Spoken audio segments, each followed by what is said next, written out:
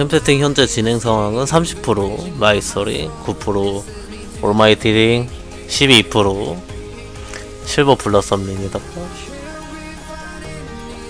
고귀한 EPI 반지 성배 벨트 5성짜리 레이유 브로드 세이브 메커네이터 9회 013짜리 5회 55초 그리고 5회 68회 15%의 에디터 줄짜리 멍청이 5회 42 15% 6회 30초 9% 상의는 108초업에 15%의 에디터 줄 신발은 100초업에 에디터 줄에 15%어 그리고 나이트 케이프 100초업에 12성 11성 완, 완작짜리 그리고 불, 나이트 숄더 03에 히미 로르 17성 9% 데아시드스 엠블렘 보조무기 40, 39 이렇게 됐고요. 오늘은 이제 신발 29억이 싹 주고 샀나요? 28억이었나?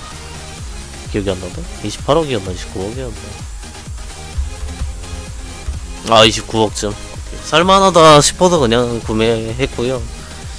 어 이제 그렇습니다. 아 현재 수급은 160만으로 증가됐습니다 잡 없으면은 본, 본주님께 300만이 나왔다고 하니까 신발 샀으니까 좀 더 올라갔겠죠. 현재 수수는 11,480입니다. 이제 아케인하고 이것저것 하면 다 올라가겠죠 좋습니다. 아 이것으로 영상은 마치도록 하겠습니다. 어... 3개 맞추면 끝인데 빨리 마무리됐으면 좋을 것 같네요. 감사합니다